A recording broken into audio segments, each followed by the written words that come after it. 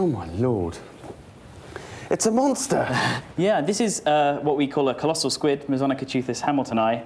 And yeah, we think these are the biggest uh, invertebrate, the biggest squid species uh, that is in the world today. Look at the suckers, look at this, look, there's the hook.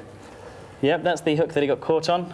Still haven't had a chance to remove it yet. Look, there's teeth in those suckers. Well, these is what they'd use to, to hold on to the prey with. So when they've grabbed uh, fish or squid or anything else they're eating, they can really dig in and, and the prey's not going to get away. So that would rip you up, wouldn't it? I mean, and this long, great big long arm, it really is. It feels like one of those alien autopsies. Well, this is one of the tentacles. And the strange thing about uh, this species is that they have these hook-shaped suckers that actually rotate.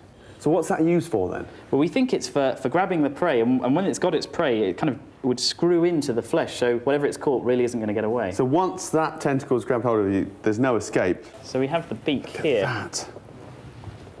You go. Whoa. So that would fit together. So you can imagine that's the kind of the mouth parts.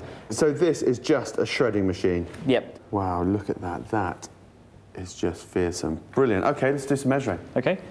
If we measure from the top of this tentacle here, So you want it nice and so you've got to be, you've got to be very scientific about it. No point actually stretching it to say we've got the biggest one. no, no, we have to be honest about these things.